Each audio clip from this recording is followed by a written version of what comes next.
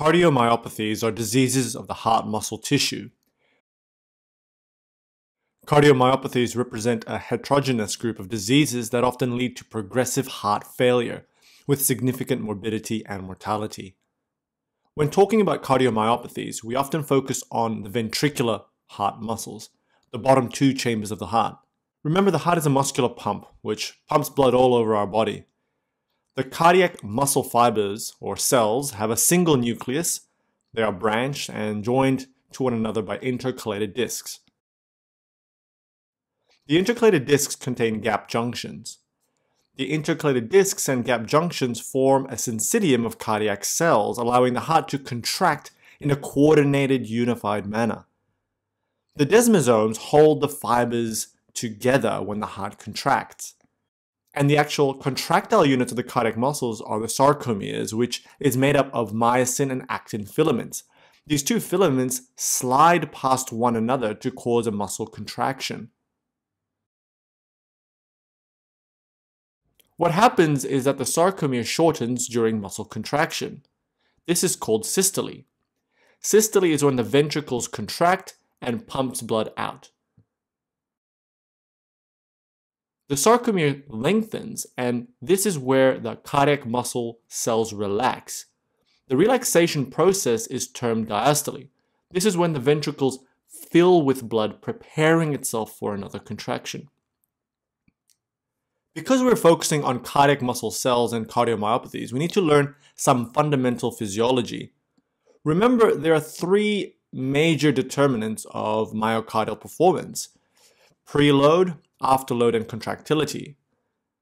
Focusing on the ventricular cardiac muscle cells, preload is the amount of blood entering the ventricles during diastole when the heart is relaxing. An increase in preload means a stronger contraction, and this relationship is the Frank-Starling relationship, which can be depicted with this graph here with di end diastolic volume on the x-axis, how much blood enters the ventricles, versus stroke volume, which is the volume of blood ejected by the heart with each uh, contraction. To put it simply, as more blood enters the ventricles during diastole, this increases the length of uh, the resting sarcomere, which builds up tension, kind of like a spring. Tension builds up as the ventricles fill with more blood, and then bang, during systole, when the sarcomere shortens, it has all this tension and so it just increases the contractile force and therefore the stroke volume. An increase in end diastolic volume therefore increases stroke volume normally. Afterload is the other determinant of cardiac muscle function, and this is the force the cardiomyocytes must overcome to pump blood out of our body. Contractility of the heart muscle eh, can be independent of preload. Uh, and for example, the autonomic nervous system, ions can influence cardiac contractility. To finish off this basic anatomy and physiology diagram, you know, troponin is attached to the structures here and is important and involved in muscle contraction. Cardiomyocytes also contain many mitochondria to produce large amounts of ATP, which is needed because the heart muscles always demand this energy. It's constantly pumping.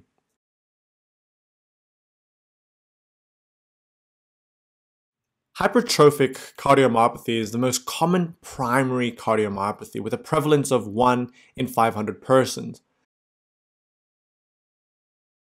It is defined as left ventricular hypertrophy without chamber dilation. It is caused by an autosomal dominant mutation of genes that code for sarcomere proteins. The most common mutation is of the myosin heavy chain. There are secondary causes of hypertrophic cardiomyopathy, including chronic hypertension, which results in an increase in afterload, and thus the ventricles thicken as an adaptive mechanism to counteract the increase in afterload. Other causes include aortic stenosis. There's also Friedreich's ataxia, which is an autosomal recessive neurodegenerative mutation of the frataxin gene. Another cause is Fabry's disease, a genetic disease with a deficiency of an enzyme called alpha galactosidase A. In hypertrophic cardiomyopathy, there are two main types of the condition essentially.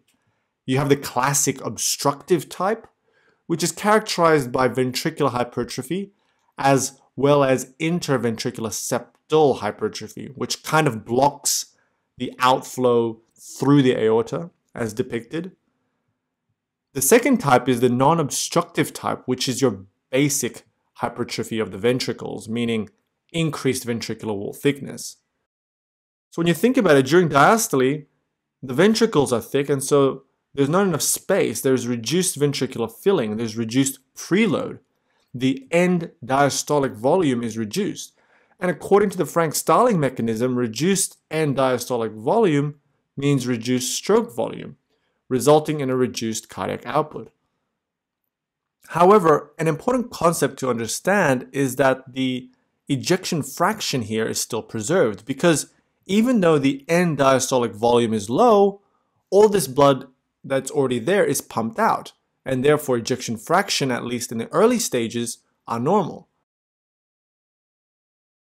The classic and main type of cardiomyopathy is the one with interseptal thickening. In this obstructive type, you still have left ventricular hypertrophy, resulting in reduced end diastolic volume, and so reduced stroke volume and therefore cardiac output. With the obstructive type, the other mechanism of disease is where the interventricular septum thickening causes what's called left ventricular outflow obstruction, sort of like aortic stenosis. So during systole, less blood is being pushed through the aorta due to the outflow obstruction, resulting in reduced cardiac output. And here, the ejection fraction is usually low. Hypertrophic cardiomyopathy is a diastolic dysfunction leading to diastolic heart failure. The intraseptal hypertrophy can also result in mitral valve insufficiency. So the clinical manifestation of hypertrophic cardiomyopathy is variable from having no symptoms to having heart failure to even sudden death. Both obstructive and non-obstructive impairs diastolic filling and can lead to heart failure symptoms. However, when exercising, the outflow tract obstruction, for example, can cause more pronounced symptoms. And this is because during exercise, there is increase in heart rate and contractility, but overall reduced cardiac output. The cardiac output cannot meet the demand of the body. There is not enough oxygen to supply the brain and the heart. And so you start getting symptoms such as syncope, angina, and dyspnea with increased risk of arrhythmias. On examination, physicians may hear a systolic murmur, typically a crescendo decrescendo murmur, like in aortic stenosis. This murmur increases in intensity with a Valsalva maneuver. As an example, here is the normal crescendo decrescendo murmur. And then with the Valsalva maneuver, the murmur is louder. And this is because with Valsalva, you are reducing preload, the amount of blood returning to the left ventricle. If you get the person to perform a hand grip or squat, this will reduce the murmur. And this is because you're increasing afterload.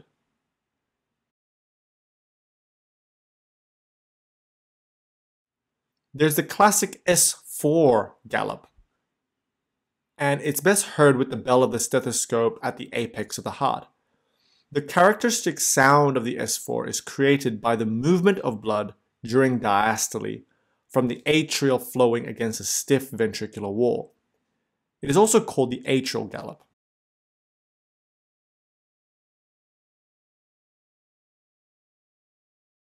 Electrocardiography findings often show left ventricular hypertrophy here deep Q waves, and left atrial enlargement. On echocardiogram, there's decreased left ventricular cavity size because of the thick ventricular wall and thick intraventricular septum. The ejection fraction can also be reduced.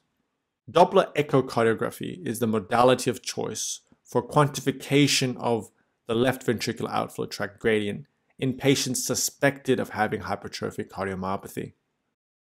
Increasingly, cardiac MRIs uh, have also been used for diagnosis of uh, hypertrophic cardiomyopathy, especially when the diagnosis is uncertain despite echocardiography. Patients with hypertrophic cardiomyopathy are at increased risk of arrhythmias and sudden cardiac deaths. The most common cause of sudden cardiac death in athletes and teenagers. Because of this, people diagnosed with hypertrophic cardiomyopathy need a 24 hour Holter monitor to check for arrhythmias and a stress test to assess for functional status and blood pressure response to exercise.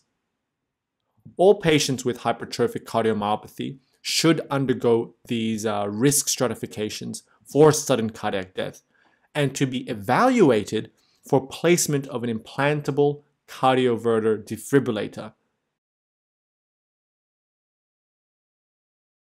Here is an example of a two-chamber ICD for prevention of sudden cardiac death, which can occur from a ventricular tachycardia.